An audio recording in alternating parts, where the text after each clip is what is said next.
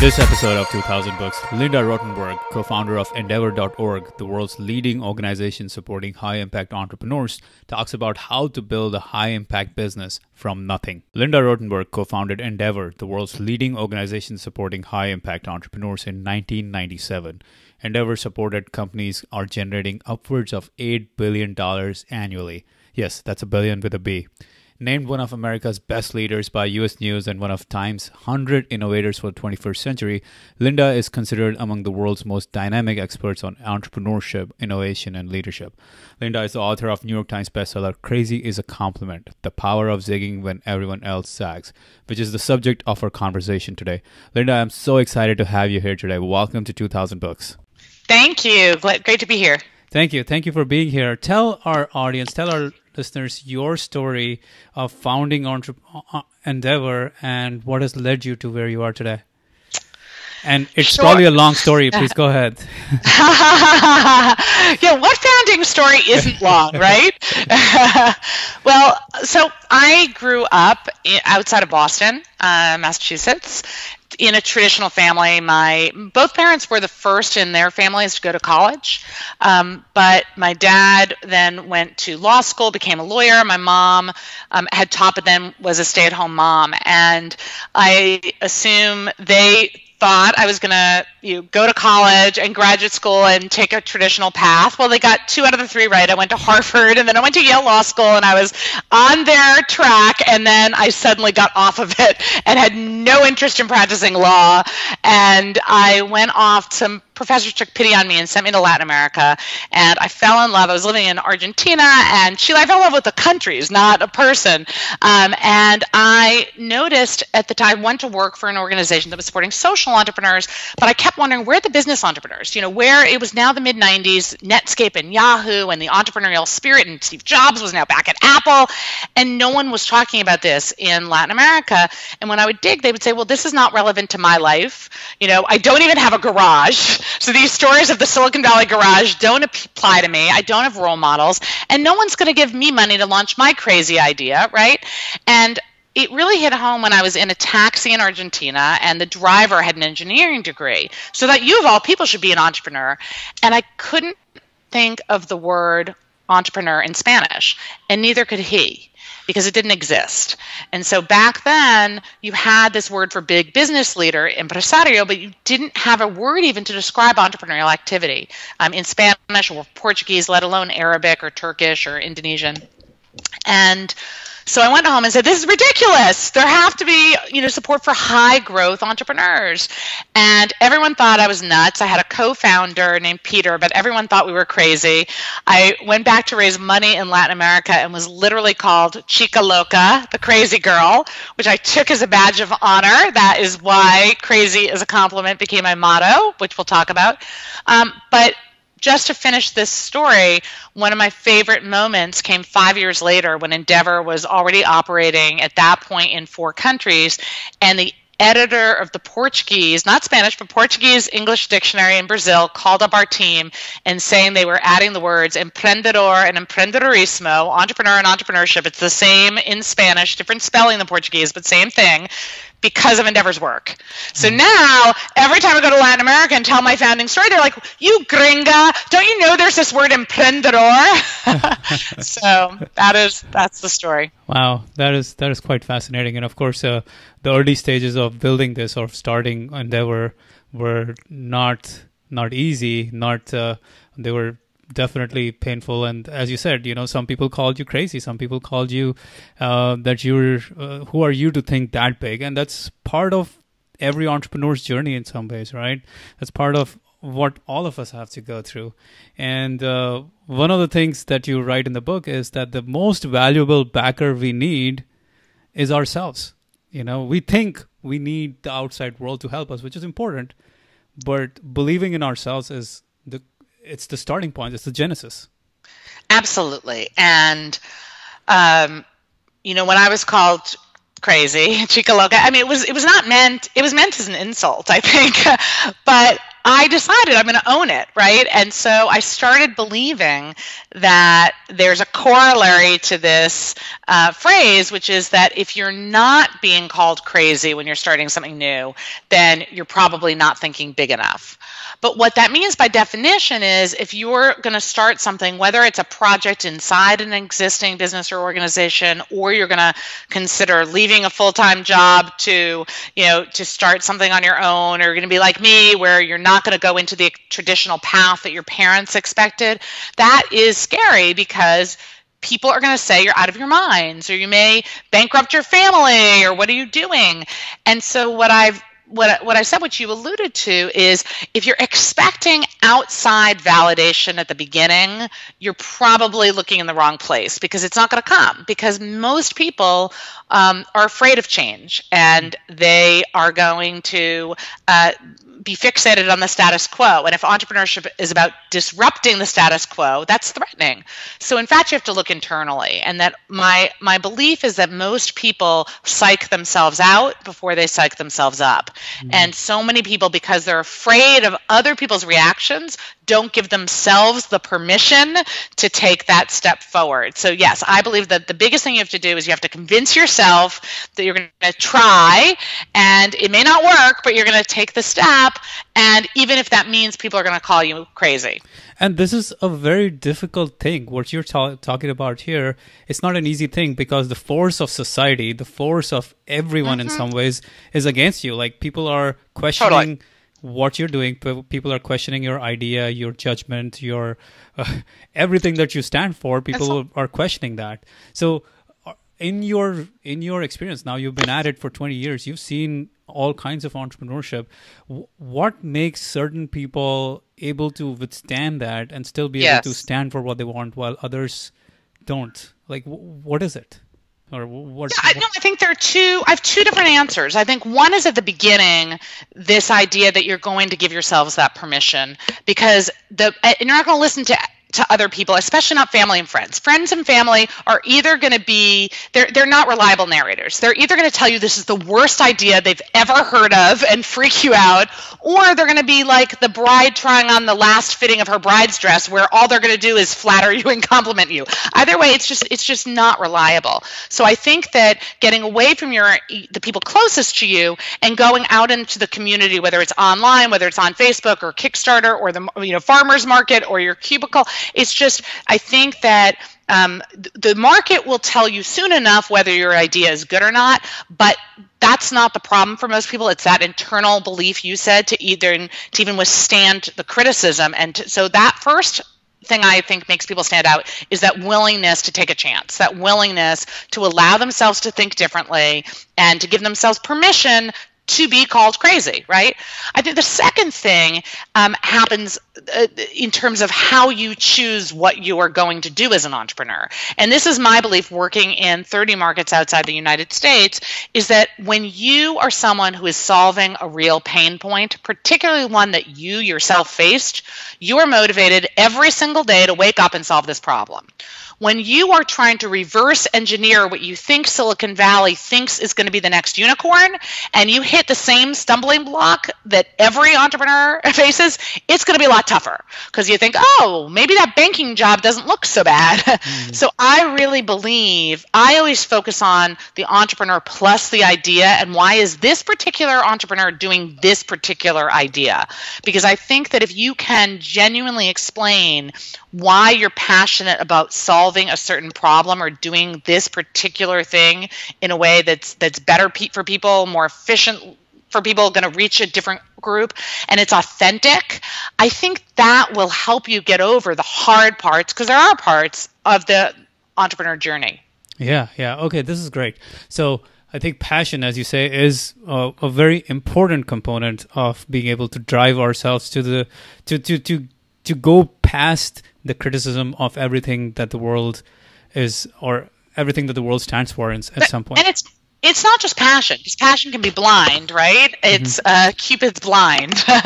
It's it's an authentic sense of why no one has solved a problem that you've identified that's a real pain point and why you can help improve your life and the lives of other people like you. And, and, and it's that authentic belief that your idea needs to be out there in the world. That is different than i think than just passion per se. Okay so is is this an intersection of what you enjoy and also what the world needs? Is that what we're saying here? In some ways uh, it's not just your passion but also what the world needs and where there's actually a business demand. Yeah, I yes, I think that that's well said. Okay. And part of it is what you enjoy, or part of it is what pisses you off so much because it's working so poorly that you have to fix it. I don't know. Maybe this is my, uh, you know, my experience working outside of of of markets like uh, California and New York. I work inside the United States. We work in Detroit or Miami or in Louisville or Atlanta. In we're working in emerging markets. There's a lot of things that don't work. Mm-hmm. so a lot of people's passions is around fixing things that they know should be more more effective than they are, rather than coming up with the next cool app right? Yeah. If you if you if you have an idea for a cool app, fine, maybe that will keep you motivated for a while. I just personally have seen people get bored then. Whereas if you think that you know you're for example, I, we have a company called Dr. Consulta in Brazil that is changing the way you know uh, medical uh, services are delivered and cutting deaths right down because they're finding out that, you know the ways to automate you know um, different hospital records. That that's going to keep you motivated. Yeah, yeah. So because I mean the journey is going to be tough. It's going to be hard, and you need yeah. something that's going to keep you excited even when the challenges are mounting, and that's that's super important. Exactly. And that's where, that's, exactly. That's where your personal joy comes into the play comes into play as well, uh, or personal yes. passion comes into play. Um, so one of the things you talk about, and uh, that was a very interesting way of putting it is you know when we're in the early stages there are challenges there are uh, setbacks but one of the ways you get through them is what you call stalking stalking people of all kinds of all sorts because you know as we build our businesses one of the fundamentals is that we have to work with other people we have to enroll right. other people in the movement and yes.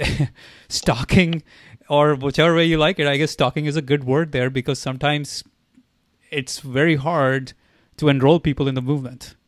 Yes, now it's gentle stalking, kind stalking, but I do, yes, my phrase is that stalking is an underrated startup strategy.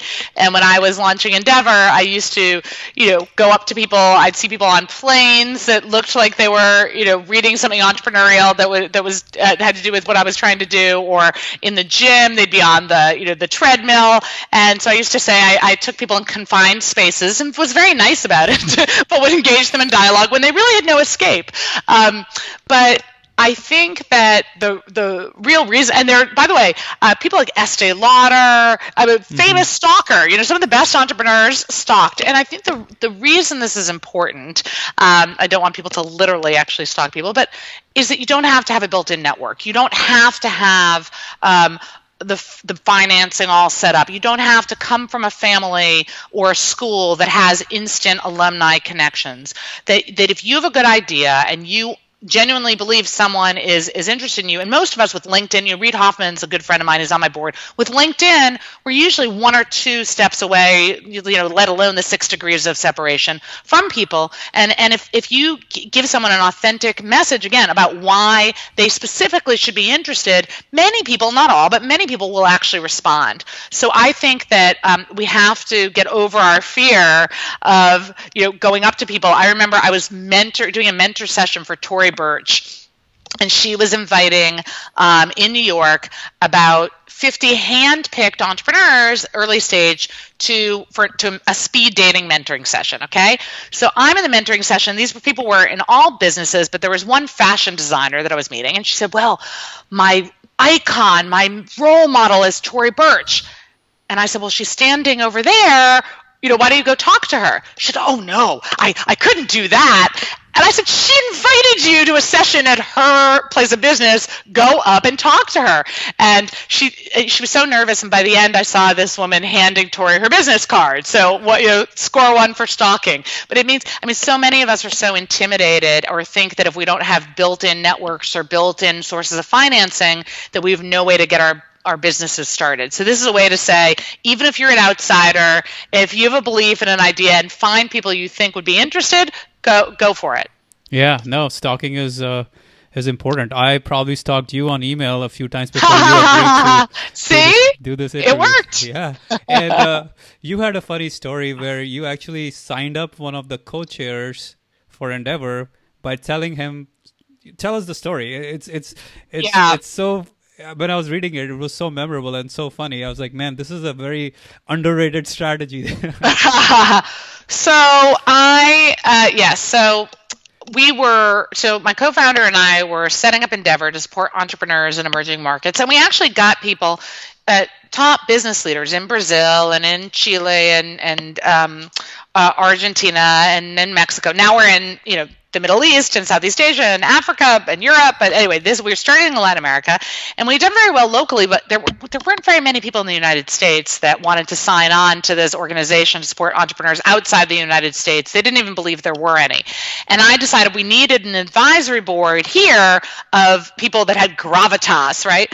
So I was um, one of my my mentors um, was uh, Bill Sahlman, who is a professor of Harvard Business uh, of entrepreneurial finance at Harvard Business School, who who was mildly interested in what we were doing, but a little bit skeptical. but we've been talking to him. But meanwhile, there had been someone I had my eye on named Peter Brooke. He was the founding father of international venture capital. He founded Advent International. He had founded TA Associates. He really, he's now um, in his late 70s, but he was, you know, really one of the founders of venture capital um, as an industry. And he was speaking at Harvard Business School. And I knew all these aggressive HBS students at the time were going to go run up to him after the podium. So I saw him going to the men's room and I waited outside. and after he came out of the men's room, I, I handed him my card and I said, Look, you know, I'm, my name's Linda Rottenberg and I'm starting this organization to support entrepreneurs around the world and emerging markets. I know you, you do international venture capital. I'd really like to come talk to you. And he was so startled because I literally hit him right outside the men's room. But he said, Well, who's supporting you? And I thought about it for two seconds and said, well, Bill Sahlman, you know, is supporting us. And he's actually, you know, he's going to, we're starting an advisory board and he's going to join. And we'd like you to be the other, you know, co chair. And Peter Brooke says, wait, Sahlman's doing this? Oh, that's interesting. So he leaves. I march up to Bill's office uh, in, in, in at HBS said, Bill, Peter Brooke just agreed to be the founding co-chair of our global advisory board as long as you do it. Are you in? And he, and Bill Sahlman says, wait a minute. Brooke is doing this? Oh, that's interesting. I'm in. And two years later, after they had, you know, run all these committee meetings, they finally discovered that neither one of them had actually ever officially signed up. Too That- late. that is that that to me is straight up pure hustle in the sense, you know. Although I told this story and someone who's been involved in our organization said, "Oh my God, you lied! You're a liar." I said, "No, come on." I they could have said no. I just said they were had agreed to do it. The other one didn't have to sign on. yeah uh, yeah maybe maybe they maybe uh, yeah lying is lying is beyond it but uh, hustle is probably the closest I Hustle. can- hustle exactly. is it's it's um it's But now Bill ended up writing a case studies on us at, at Harvard Business School, and he every time I would show up, he'd call me the stalky. The st- uh, call himself the stalky. He'd call me the stalker. okay, Sorry. so, so you're the crazy lady you're the stalker well, there's no, quite a few things going on nice, right? uh, all right so so this is okay so we've got to get people involved and sometimes you know we stalking is the right strategy but another really powerful strategy that you talk about is having mentors having mentors from Yeah. all different angles because a lot of times traditional mentorship says okay one mentor or Right. you know one mentor who will guide you along the journey but you have a very different view of it and i guess endeavor has a very different view of it endeavor is formed on that Yeah. idea right Yeah, I, Tom Friedman called us the world's mentor capitalists. So we believe in mentorship in, in a big way. And in my own world, I I mean, I, I came up when people still thought that you got one, maybe two, three jobs in your entire lifetime, right? Now, now we no longer we know that that's not going to be the case. But so there was this idea that you found, as you said, one mentor with gray hair to guide you along the journey, and I found this incredibly stressful. You know, here I was, I was in my twenties, and I thought, oh my god, I have to find a husband and a mentor. Like this is just too much stress. and so I, I, I, my my my line is that you, you need to be monogamous in your private life, but you should be poly mentorish. and that the idea of one mentor is just a crock because, you know, you really need a circle of mentors and you need people who are older than you younger than you people who are in your business people who are, have nothing to do with your business but care about you and can guide you in other ways. And i actually think that frenemies you know often make the best mentors because people i mean i often meet with people who are could be competitors right? But we we we go through more similar things than almost anybody else. So sometimes your frenemies actually understand the challenges you're going through better than anybody else. But i think that one of the things that happens and when we um, set up mentors mentors for Endeavor entrepreneurs, we set up three or four person advisory boards. I think having one mentor puts too much stress on the relationship. And I think actually creating a group where each person individually knows the one thing maybe they're responsible for that you're relying on them takes the pressure off, right? And then you can say, okay, I'm going to come to you once a month. We're going to have, you know, coffee for half an hour. I'm going to have a 15 minute call, but it's on this particular issue. I'm calling you about HR or I'm calling about finance rather than one mentor who feels like, oh my God, your entire career is in my hands. So I think that that, that to me, um, in some ways, rather than being more stressful, kind of shares the burden and, and is more effective in the, in the um, outrun. So get a, get a circle of mentors. Absolutely. This is so critical. This is so huge.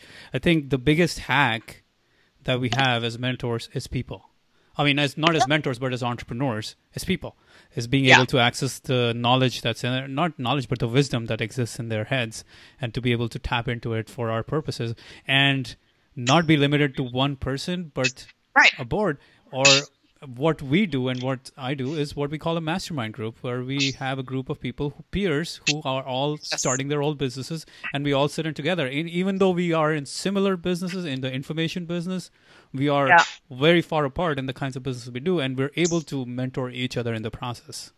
Right. Yeah.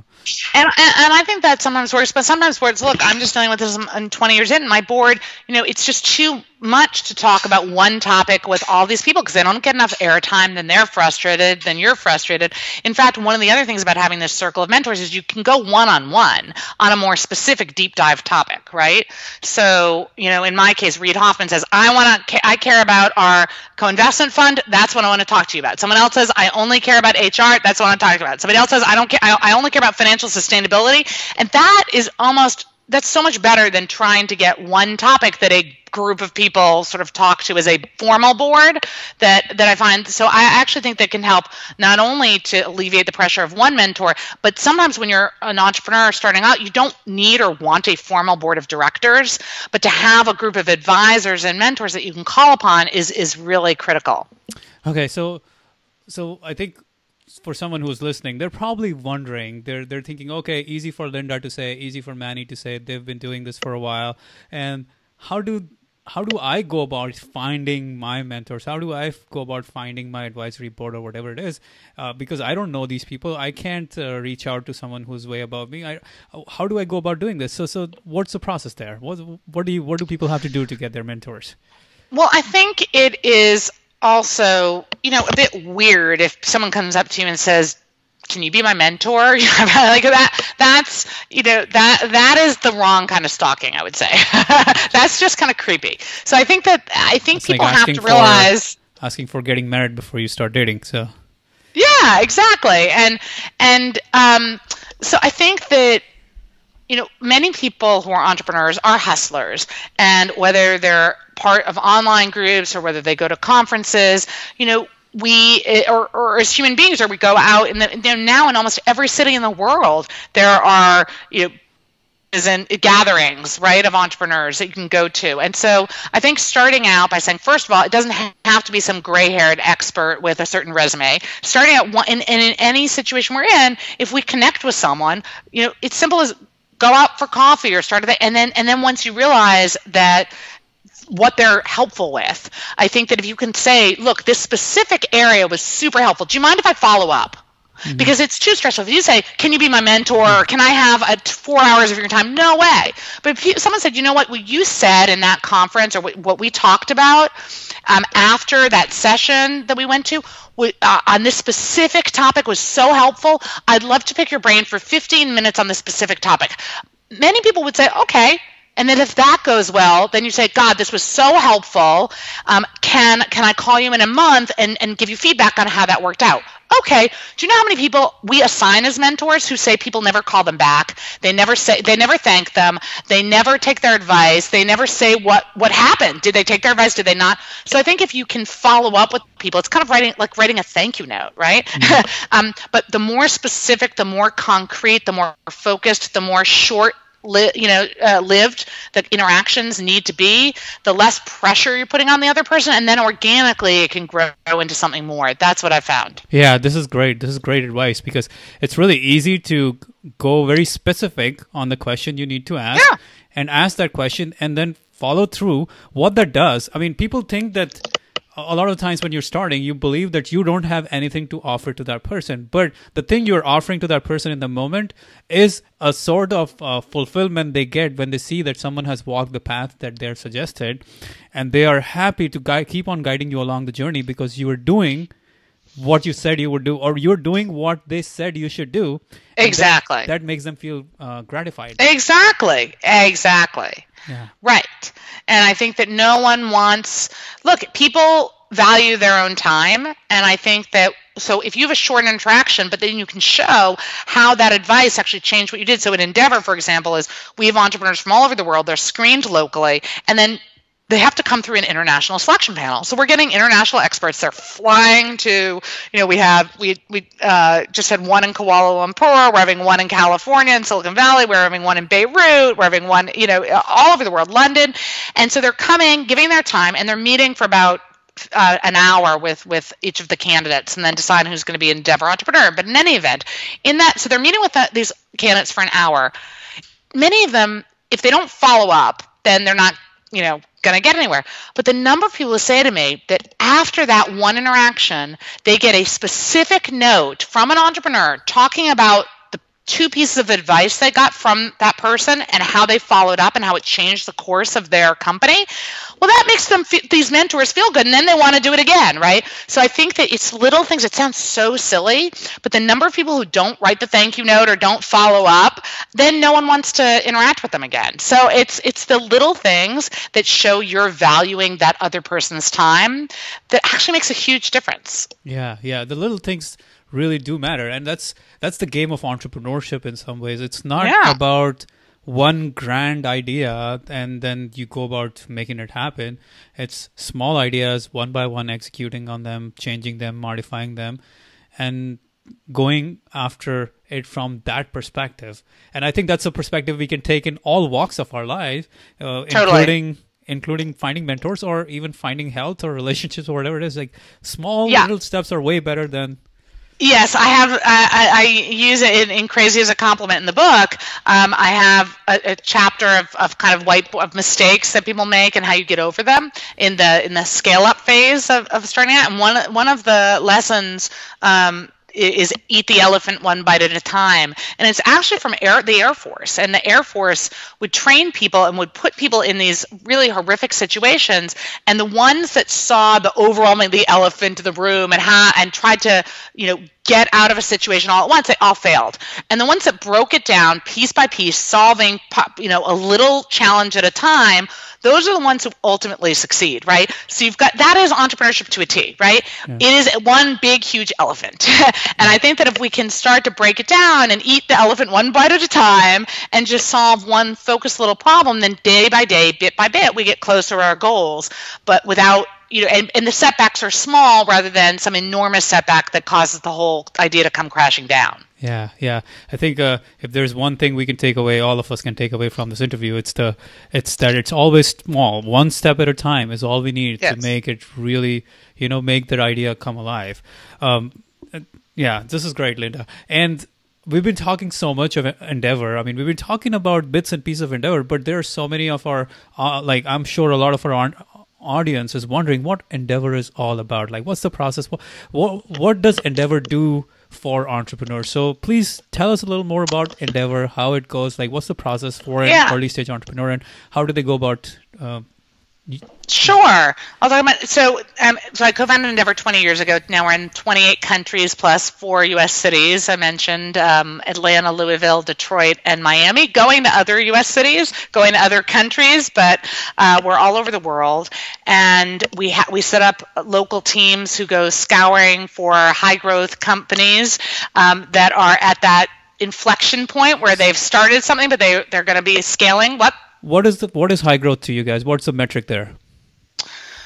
Well, we're not looking for um, f- for uh, lifestyle businesses. We're looking for people who really want to grow, whether it's through employment or through you know. Um, so it's it's it's either about uh, the number of franchises, or if they're a tech company, it's about year-on-year growth. It's for people who are aiming big, right? Is there And- is there a certain dollar dollar revenue number that you look at where you say, okay, this is where we get into this business? No, we have people that are pre-revenue to people who are fifty million dollars in revenues, but think they should be five billion. So it really, it really runs the gamut. But they have to have had traction, and they have to show that there is a real path forward and a passion to get to that next step. Um, but anyway, once people become an endeavor entrepreneur the process takes about six to 12 months then we build these advisory boards for them around the world we have access to uh, networks locally and globally we have now a co-investment fund that will invest in their next rounds and we have a group of uh, investors that that look at who the endeavor entrepreneurs are to to actually lead the rounds um, and then the entrepreneurs of by and for entrepreneurs. So our entrepreneurs now joining, they are become the mentors, they become the investors, they become the the board members. But but I should say that you know Endeavor really is looking for the gazelles, right? We're looking for um, the the highest growth companies. And the reason I wrote Crazy is a Compliment, the book, which is how I think you found out and stalked me, Manny, is that I said, look, not everyone is destined to be um, they're not aiming to be the next Uber, the next Facebook, the next Starbucks. You know, um, they are looking to create something new inside a bigger company, right? They want to start a project. They want to start. Uh, not a mom and pop, but something that's more of a lifestyle business. They want to employ maybe five to 10 to 20 people, but they don't aim to uh, employ hundreds of people. Uh, people who have a family business but want to take it to the next you know level, um, or people who want to start a social enterprise. So um, the reason, so within Crazy is a Compliment, I started dividing these people into different members of the animal kingdom. Uh, I hate social entrepreneur and mompreneur and uh, intrapreneur. So I, I started calling people, you know, butterflies if they're the mom and pops because they aim for freedom or they want to be sort of the, the yoga instructor who actually has their own their own business. Or um, uh, the the tech entrepreneurs and the high growth ones are the gazelles, obviously. And then um, my favorite of the labels are the skunks. Uh, they're the entrepreneurs, partly because um, Lockheed Martin had the famous Skunk Works program where you actually had a group of people inside a company that were trying to make change. But I also sort of say that if you're a skunk, your job is to stink up the joint, and, right? And tell your boss what's, what they're doing wrong. And in fact, so many people have come up to me waving my book and saying, "I'm a skunk. I'm a skunk." Uh, anyway, and then and then I have dolphins for the social entrepreneurs. But the point is that I wrote the book for people to say, no matter where you are, no matter what your business or your enterprise is, your idea is, that today everyone needs to think and act like an entrepreneur. And that we all need this mindset and this skill set in a world that is constantly changing. Because I think that what I've learned from working in emerging markets is that we in the United States overemphasize stability, um, and stability favors the status quo. If you're an entrepreneur, you root for chaos, and that chaos is the friend of the entrepreneur. So in these markets that never have stability, they're actually very good at managing chaos. And I think here we become, and this is where again our families and friends sort of get nervous when we say we're going to do something disruptive or maybe leave our jobs or uh, take out a loan and i think that um, that's what we have to realize is that anything we're doing takes a little bit of risk but that the greatest risk of all is to take no risk mm-hmm. because the world's changing anyway and that also entrepreneurs even though they take that initial risk really what they the best entrepreneurs end up looking at how do I minimize risk, not maximize risk? How do I get all the data points so that in fact what I'm doing is less scary, it is less risky, um, but it's just about doing something different and then gathering the data points to make sure that if I have a failure, it's going to be a limited one. Hmm. Okay, so so I mean, of course, the book caters to a much wider audience compared to what Endeavor is targeted towards. And uh, just to clarify, do you think of Endeavor as an accelerator, as a uh, incubator, or uh, you know, or do you guys take uh, do you guys take any um, any kind of uh, equity play in the businesses? Yeah, so Endeavor itself started because there was no trust in these markets, and we said we have to have the trust and the social capital. Endeavor started as uh, fully as a, as, a, as a nonprofit, as sort of a network, right, of mentors. So Endeavor Global and all our affiliates are, are nonprofits, but then we have these funds that are returning, you know, LP capital.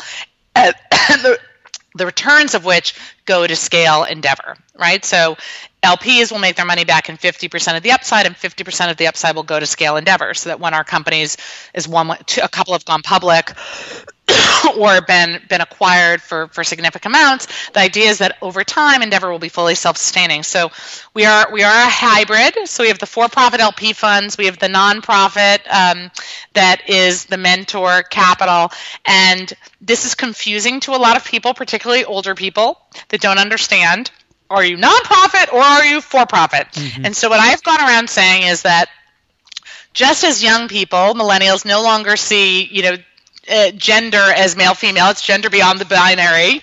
We why do we have to be uh, profit binary. So we are officially trans profit. we, we are a trans profit. No, but I but but I think that ultimately the goal is our entrepreneurs um, know that once they succeed, they're going to give back. They become the mentors. They become the investors, both in Endeavor itself and in the entrepreneurs, other entrepreneurs. They become the board members. So it's really I've always seen it as of by and for entrepreneurs. That's been the driving point. Um, but our goal is to build these ecosystems. Hmm. All right. Well, this has been great, Linda. This has been a lot of fun, a lot of great learning for all our listeners, for me as well. So tell our listeners where to find you, where to, you know, stalk you if they can, and all the good stuff. Uh, well, I'm on you know Twitter, Linda Rottenberg. You can go to endeavor.org. Um, endeavor spelled without. If you're in British in Great Britain, it's not the British way. No U, so it's E N D E A V O R. No U. Uh, Crazy is a compliment is the book, um, and uh, you know I wish all of you luck. I think being an entrepreneur is uh, is imperative these days. I think it's uh, the best way to view the world, right? It's boring to go view the world the way everybody else does. So I love that entrepreneurs see the world differently. And what I would say is you've already, if you identify as an entrepreneur, you've already, back to our first question, right? You've already done the hard part, right? You've already given yourself that permission. So every other step along the way, while it will continue to be hard, uh, know that the hardest part of all is taking that first step. So congratulations, you've gotten to day one, and uh, wish you all the luck on your journeys. Awesome. Well, thank you very much, Linda, for taking the time to do this.